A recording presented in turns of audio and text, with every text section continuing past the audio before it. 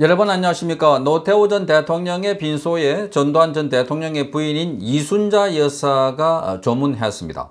이순자 여사는 28일 오후 1시 50분쯤에 서울 종로구에 있는 서울대학교 병원 장례식장에 마련된 빈소를 방문했습니다. 자, 이순자 여사는 아들 재국 씨와 경호원 3명과 함께 온 것으로 알려지고 있습니다. 자, 노태우 전 대통령의 부인 김옥숙 여사와 아들 노재헌 변호사가 이 여사를 맞이했습니다.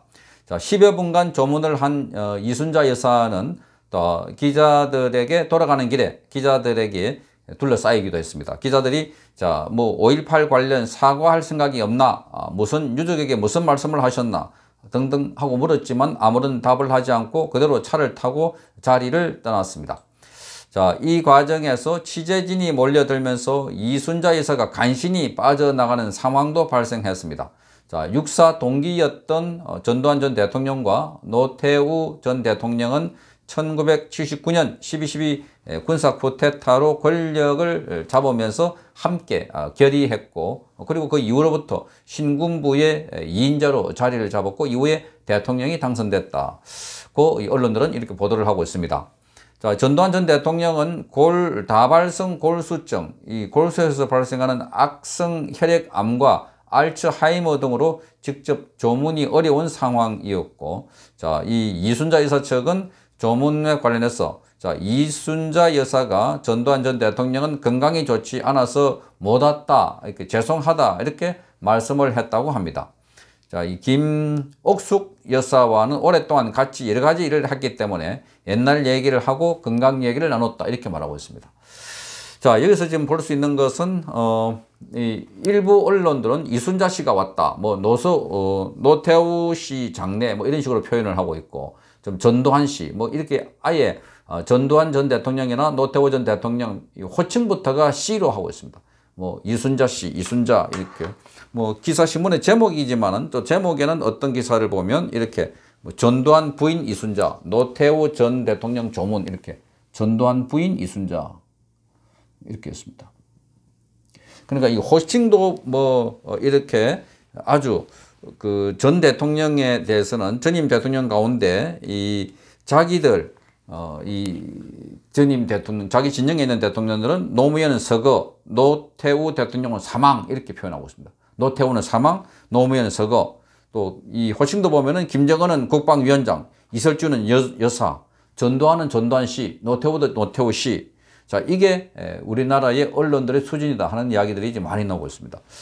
자, 이걸 보면, 어, 자, 우리 그 장기수에 대해서 지금 이 진보 언론들이 북한에 올라간 장기수, 장기수에 대해서는 이 글자 쓴 거 보면 이렇게 씁니다. 뭐 멋쟁이 장기수, 강담 선생 타계, 끝내 타계, 타계를 쓰는데 지금 어 우리 전임 대통령에 대해서는 사망이라고 쓰고 있습니다. 그러니까 비전향 장기수가 죽으면 그거를 타계라고 쓰고 있고 어 우리 쪽에 전 대통령들이 사망하면 사망이라고 쓰고 있다. 이게 이제 기본적으로 어, 대한민국 언론의 수준이다. 거기다가 지금 뭐 일부에서는 광주, 전남, 전북, 충남, 세종 조기 개항 안 한다. 노태우 국가장 거부 줄 이어 뭐 이런 기사도 쓰고 있습니다. 노태우 국가장 거부 줄 이어 이런 식으로 자, 이 기사가 지금 경향신문이고 자, 이게 여기 한겨레 같습니다. 노태우 국가장 결정 옳지 않다 사설까지 쓰고 있습니다.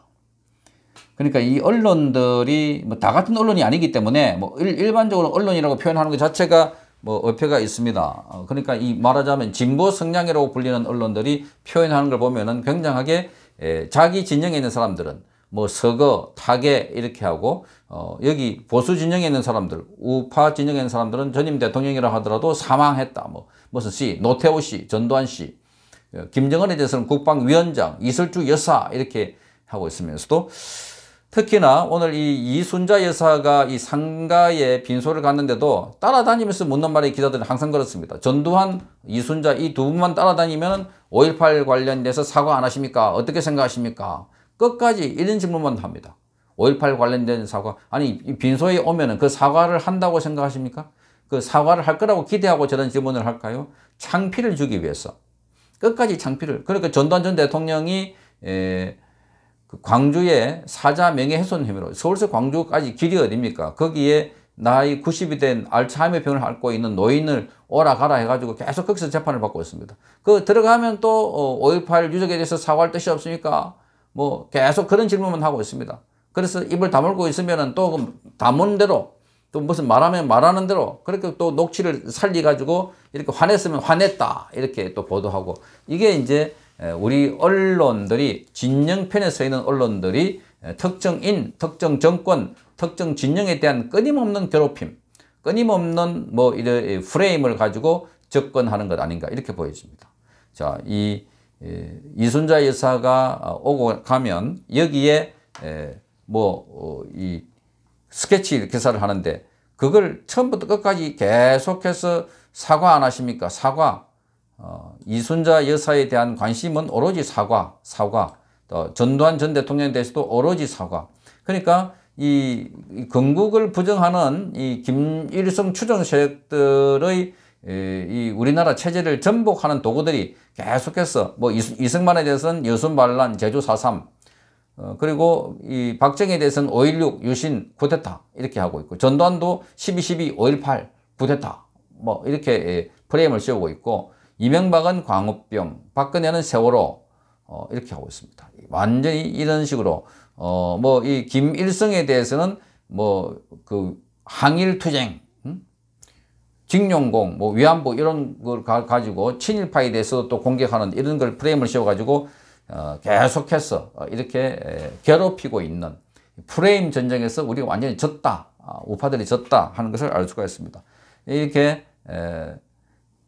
그 조문을 하러 온 전직 대통령의 영부인에 대해서 어, 기사들은 이순자 씨, 또 이순자 뭐 여사로 안 쓰는 데도 있습니다. 이순자 이렇게 쓰고 또 대통령에 대해서도 뭐 노태우 씨 사망 이렇게 쓰는데 그 나타났다고 하면은 자, 5.18 사과 안 하십니까? 5.18 어떻게 생각하십니까? 계속 그 질문만 반복적으로 물어가지고 창피를 주려고 하는. 그러니까 이게 어, 공정한 언론이나 공정한 또 상식적인 그런 뭐 언론 환경이라고 절대 볼 수 없는 어, 그런 상황이 벌써 되어버렸다. 그러니까 이런 상황에서 자, 대한민국의 올바른 뭐 그 언론 환경이나 또는 그런 가치를 기대하는 것 자체가 어렵다 하는 겁니다. 보통의 경우 이 부엄이라고 하는 것은 부엄에는 자, 무덤도 간도 없고 또 거기에 에, 이 빈소는 죽은 사람의 향이 에, 그러니까 이 서술되고 있고 좋은 면을 주로 추억하게 되어 있습니다. 좋은 면.